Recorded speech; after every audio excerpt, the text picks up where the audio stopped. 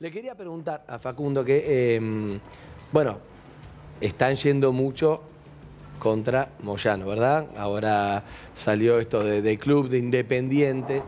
¿A vos te cuesta poner cara, te conozco ya como mirás para abajo, como diciendo yo no soy Hugo Moyano ni Pablo, soy Facundo? No, no, pero lo he hablado Pero te pregunto, claro, te, te Bueno, pregunto. Primero eso, aclararte eh, mi lugar eh, de hijo y que creo que la pregunta eh, a mí particularmente, más allá de ser legislador nacional, va porque soy hijo.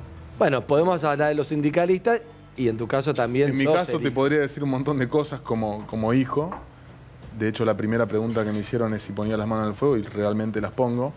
Después son cuestiones eh, que tendrá que la justicia investigar y la justicia resolver. Yo no soy abogado de Ivo Moyano. Yo soy, estoy en este lugar porque soy legislador nacional y, y hablo eh, y analizo políticamente la situación, que de ninguna manera se puede escindir de la cuestión eh, judicial.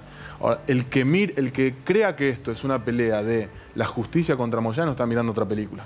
El que crea que el gobierno quiere democratizar los sindicatos o la institución sindical, mejorarla, está mirando otra película.